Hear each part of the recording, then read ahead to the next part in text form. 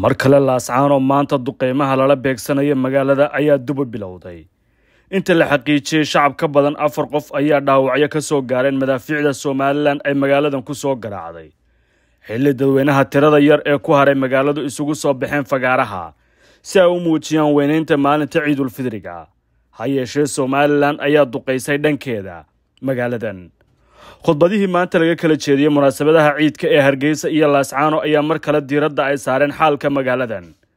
Gaar ahaana darafka colaadda iyadoo madaxweynaha somalilan hadal uu ka jeediyey hargeysa uu ku sheegay in ciidankiisu ay difaacayaan xuduudihii ingiriiska ama gumaystuhu ka tegey taasoo uu sheegay inay tahay lama taabtaan aan cidna wax ka bedeli karin.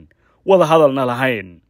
Master biixi waxa uu sheegay in waajib tahay difaacidda xuduudan ma uusan qarsan in haba yaraatee ciidamada somalilan aysan taaka ka bixi doonin deegaanadan.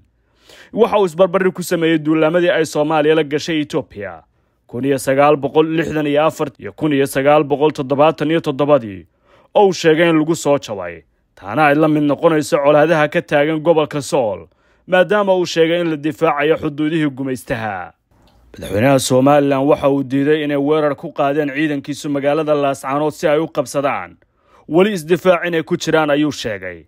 Xilli ilaa hadda si madax bannaan loo diiwaangeliyey toddoba iyo labaatan iskuday weerar oo somalilan ciidankeedu ay qaadeen kuwaasoo ay qireen saraakiisha ciidanka. Guul dagaal iyo mid siyaasadeedna midna lagama gaarin kuwaasoo yoolkoodu ahaa in somalilan ay dib u qabsato magaaladan. Weerar afka ah ayuu madaxweynaha somalilan ku qaaday garaad jaamac garaad cali oo uu sheegay in aabbihi iyo adeerkii ay saxiixeen xuduudda ay ilaalinayaan ciidanka somalilan barnaba inaan laga hadli karin oo ay tahay waajib in lagu dhaqmo. Ayuu soo daliishaday madaxweynuhu taasoo xaaladda sii adkaynaysa. Somalilan kama baaqsan sheegidda nabad ku baaqid. Xilli lix iyo labaatankii bishii hore wasiirka gaashaandhigga iyo taliyaha ciidamada somalilan iclaamiyeen duulaan qorshaysan oo militari oo ay ku wajahayaan laascaano kuna sifaynayaan.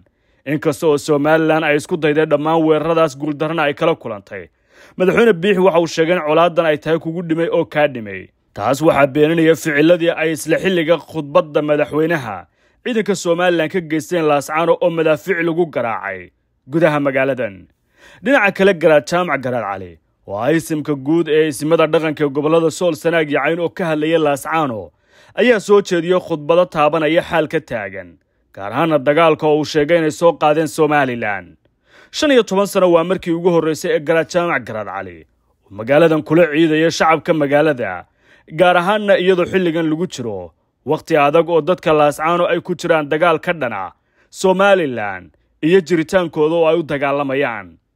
Garajaamac ayaa sheegay in dhulka uusan ka dhexaynin somalilan iyo dadka deegaanka balse uu yahay dhul soomaaliyeed oo iyagu ay gaar u leeyihiin. Ciidanka somalilan ayuu ugu yeedhay inay duulaan yihiin. Muuse iyo kooxihiisa siyaasadeed ayuu sheegay inay wadaan maalmihii la soo dhaafay iskuday kasta oo ay dib ugu qabsanayaan magaalada aysan ku guuldaraysteen garaadku waxauu isbarbardhig ku sameeyey.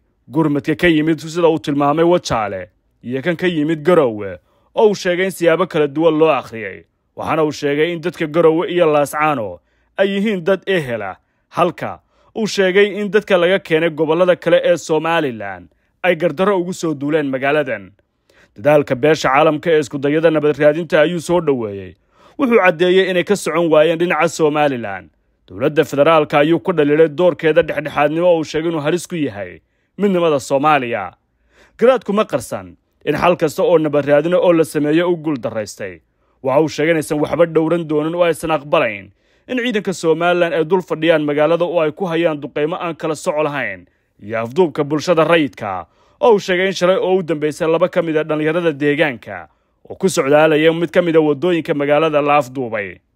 Dadka deegaanka waxa uu sheegay inay difaacanayaan sharaftooda oo ay muddo dheer ku jiraan xalka ah in laga baaqsado dagaal dhaca iyo khasaare ka dhasha.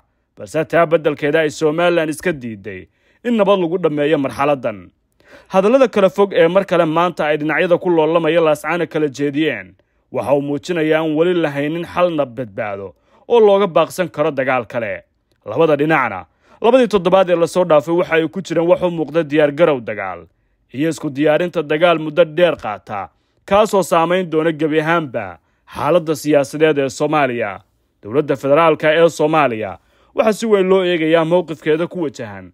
Xaaladda taagan mar kale inay caddayso iyadoo horey u soo dhoweysay go'aankii ismada sool sanaag iyo cayn ee ay ku dhawaaqeen kaasoo sheegayay inaysan ka tirsanayn puntland iyo somalilan balse ay hoos tagaan dowladda federaalka ee soomaaliya ma og tahay maantaba inaad ka maarantid inaad tagto xawaalad? Haddii aad ku sugan tahay yurub iyo ameerika baysi waxa uu kaa haqabtirayaa inaad lacag u diri karto ehelkaaga iyo asxaabtaada adigoo ku sugan gurigaaga iyo goobtaada shaqada. Kala soo deg ab istoorka iyo balay istoorka